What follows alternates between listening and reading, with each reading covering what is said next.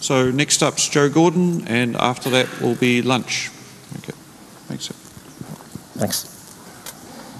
So I'll try to finish on time because we want to get to lunch. Um, so this is talking about keeping Pinterest running. Um, so a bit about me. I'm an SRE or site reliability engineer at Pinterest. Um, so what is Pinterest? It's actually not what we're talking about here today, but it's a visual bookmarking service. Um, it's sort of scrapbooking for the internet. But that's not really what we're talking about. We're talking about how we keep it up and running and not what the service is itself. So software versus service. This is a bit about a lot of what this talk is about. This is I came from a software background, and I moved over to this, supporting the service. And this is a big change for me was seeing how software is done versus supporting a service. There's some really big differences between running software and service. One of them is stable branches. We have no stable branches. Think of all the time you've had to deal with supporting stable branch. Um, that all goes away. We don't have to support any giant matrix of drivers and configurations. We just support the version we want. Um, we, like to, we don't have to deal with dependency versions. We're just shipping to one uh, set of servers, one configuration. Uh, we pin all our dependencies. You don't have this giant range of supporting a lot of things. Um, and one of the really big differences is developers support their own service. So, for example, if you're working a service, you're on, you have on-call rotation for that. So if it breaks in the middle of the night, you're going to be woken up in the middle of the night. Uh, that really helps align incentives between developers and making a service operation uh, work in production. Um, a really concrete example of that is monitoring and alerting are built in from day one.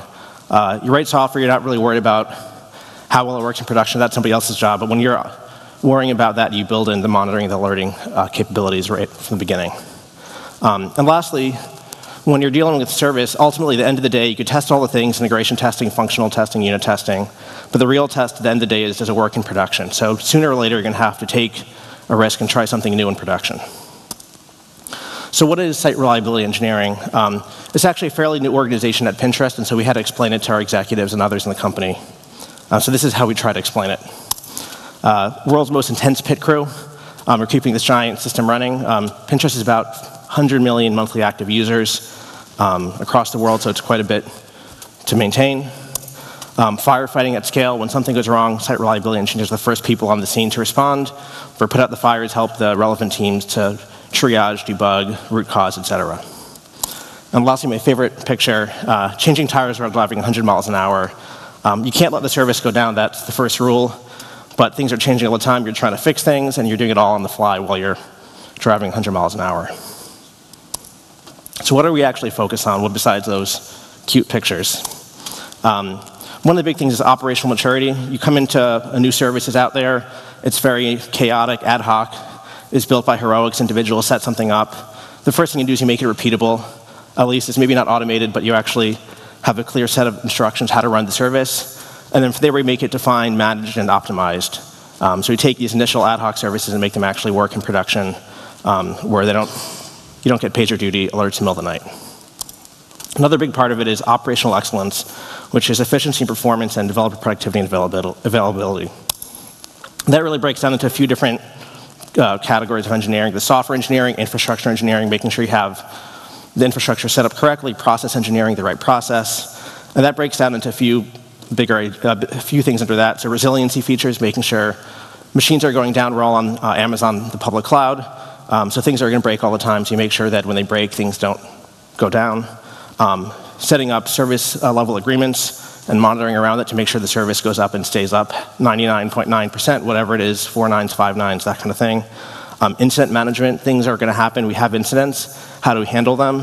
Um, we have runbooks for the person who's on call. If they get a page in the middle of the night, we have a list of all the things that hopefully could go wrong, and they could look at the runbook and see how to fix something, whether it's restarting something or this or that. And the idea for the runbooks is that the things that aren't automated are there, um, and you move things away as they get automated. Um, efficient utilization and making efficiency improvements and capacity planning. Uh, we have a really big fleet, and if we don't be careful about how efficient we are, costs go through the roof. Um, and speed and latency are also really important to that side of things as well as, as is load testing. Um, repeatable deploys, that's sort of the key thing here. We deploy just about all the time, so making sure they're repeatable is really important, and automation and change management as well.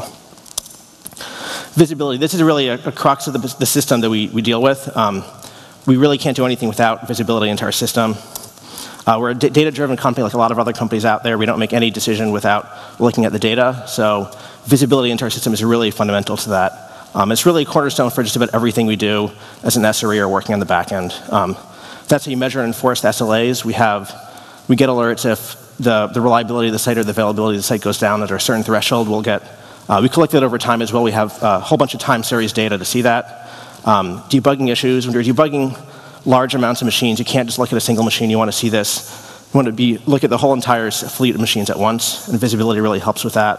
And lastly, capacity planning is another big part. Um, we can see how we're doing under utilization and things like that, and figure out how much more capacity we need, look at a request per second, things like that. Uh, most of our data is time series. Um, I heard a number from Facebook. It's not an option, so you have hot fixes. The hot fix where you have your, whatever you deploy, you add another single patch onto your code instead of pushing all the new code out that's been committed since then. Um, we, have a, we have rolling deploys. We don't do a deploy everything at once. Um, when you have a deploy, sometimes it takes a minute or two to restart a service and you don't want to have any impact on the user, so you can't actually turn off all the machines at once, deploy it all, and bring it back up. So you have to make sure you do it in small increments. Um, we also, this Teletraan supports staging and testing environments um, built in. Um, and lastly, the visibility and the usability uh, of the system are really important because everybody's doing deploys all the time. You want to be able to see when a change went out, when your change went out, what were the differences between any two, any two uh, versions of deploy were to see if there's an incident. You can figure out what caused it. Um, and it should be really easy to use for everybody. Um, is fairly simple in design, standard client-server model. Um, it's all backed by MySQL. Um, the agents pull the, the service to see what's happening, if it should deploy or not. There's a few basic steps in there, pre and post download scripts, uh, pre and post restart scripts, and a restart script. And so if you're writing a service, you're responsible for those, writing those scripts and maintaining them. So they're usually pretty simple. Restarting the service is finding whatever thing is managing the service and just sending a command to that, whether it's upstart or whatever. Uh, and last, we also have role-based access control for this system.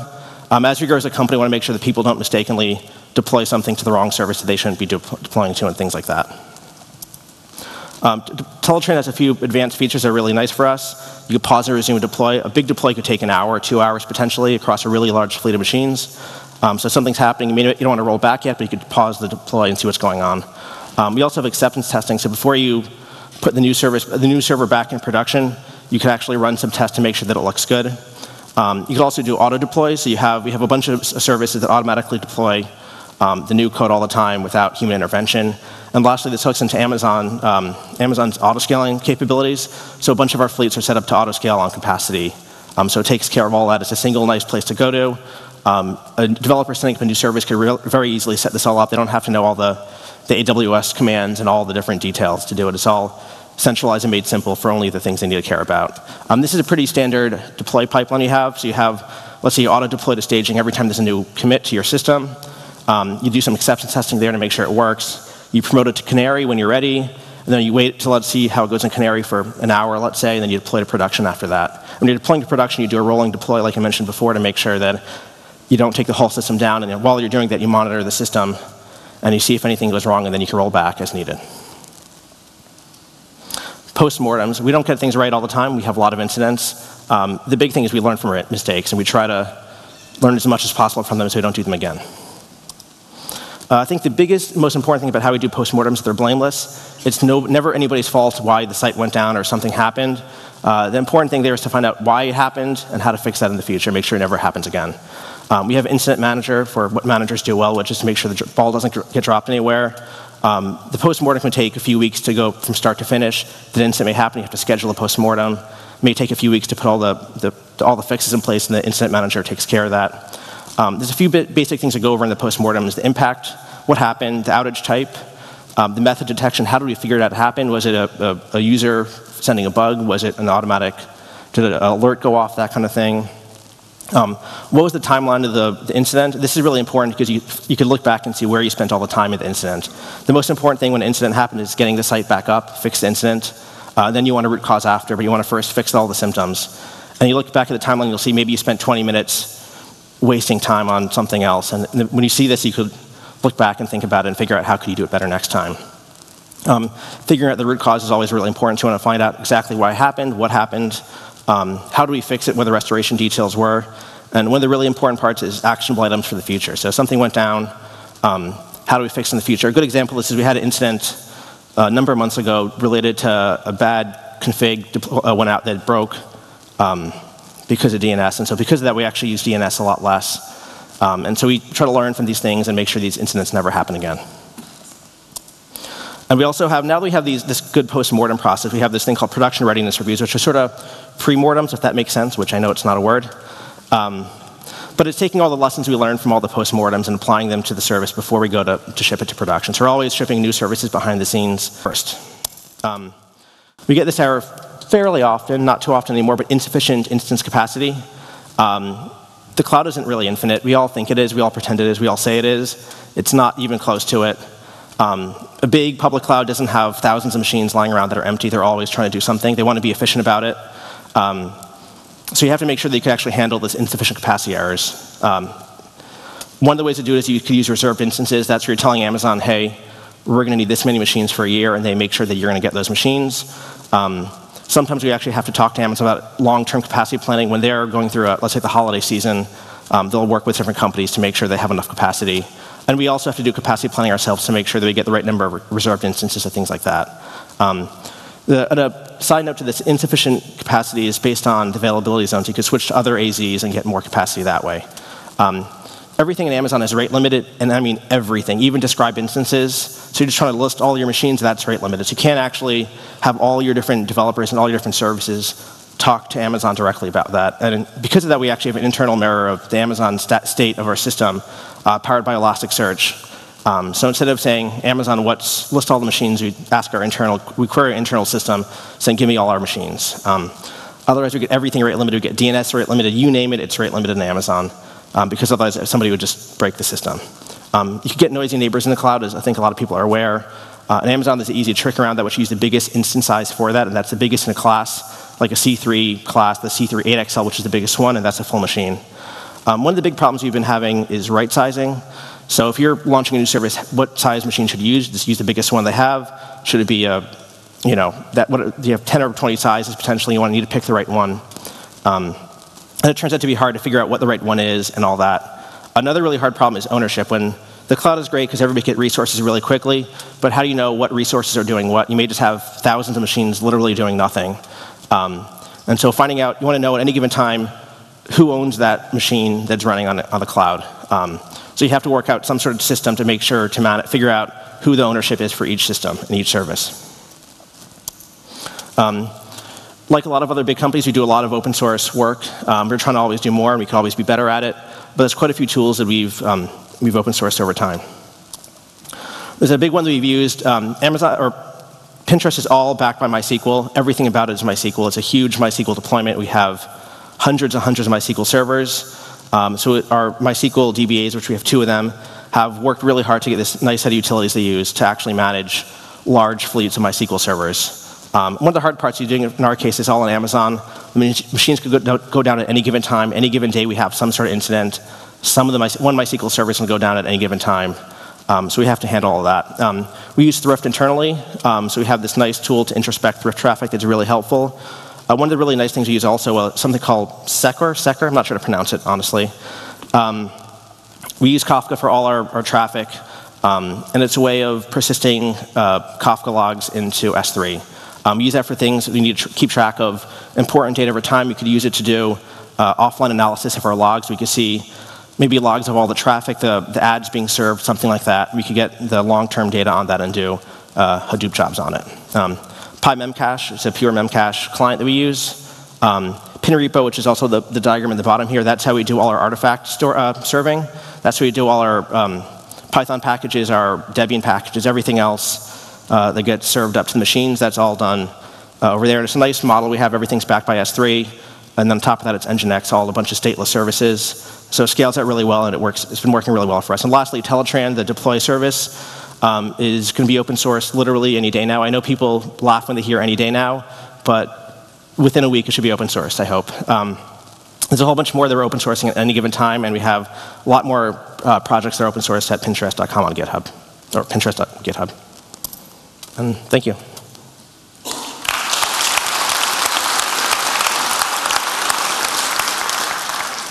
I have five minutes for questions if anybody has any. In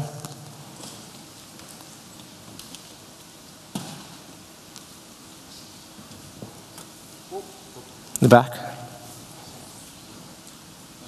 Was, okay.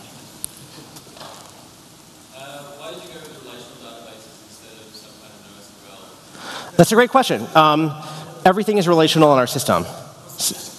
Sorry, the question is why do we use relational databases and not something like NoSQL? Um, there's a few answers for that. One is that relational databases like MySQL are really tried and true uh, at really large scale. A lot of big companies use it. Facebook uses it. A whole bunch of others. Uh, when Pinterest started, I wasn't there when Pinterest started. We asked a lot of other big companies how they do it. MySQL works really well at scale. Interesting fact about our system um, is that we actually store it, we have the key, and then we have JSON blobs inside. So we don't actually use MySQL for the relational part as much as one might think. We just have the, the key, some sort of unique ID, and then a JSON blob in there. Um, but MySQL has all the, the HA properties we need. It shards really well, um, and it's been really battle tested for a long time. Follow up? Um, I'm not going to touch that. Is there a question in front? Or? Yeah? Or? No? Oh, okay.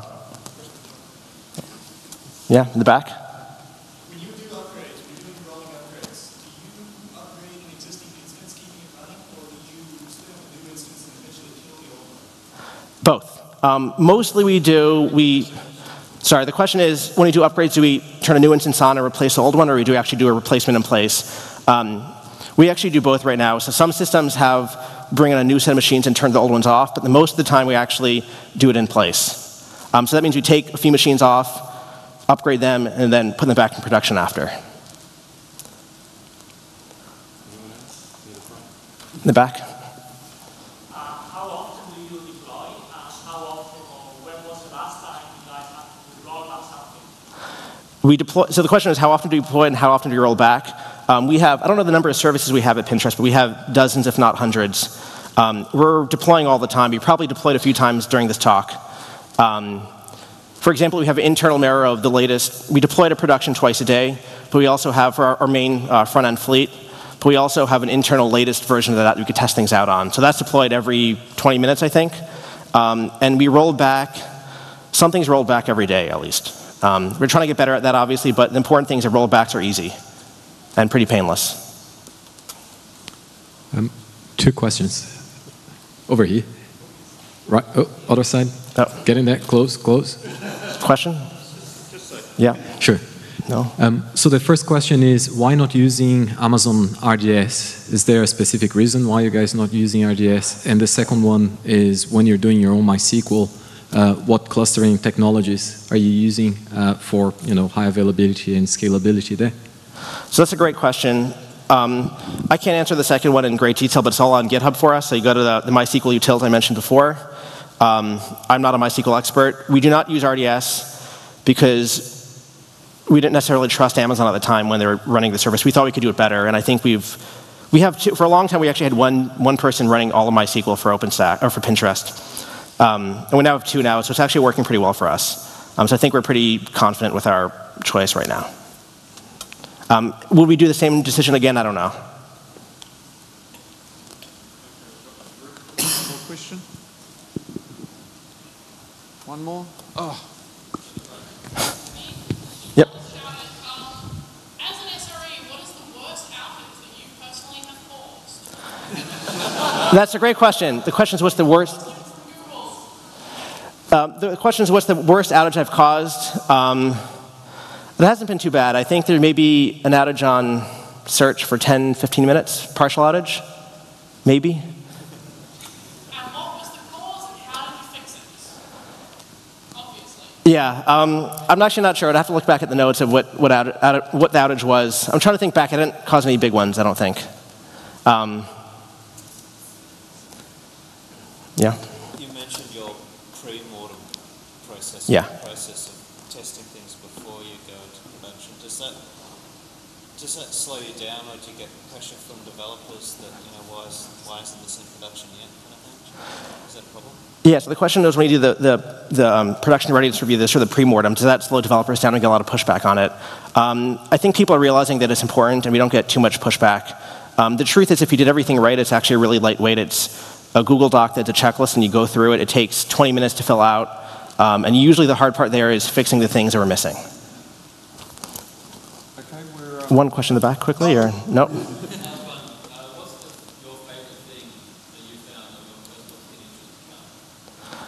Um, I'll talk to you after. okay, um, thank you for, to Joe. Um, great talk, and uh, we'll be back uh, after lunch.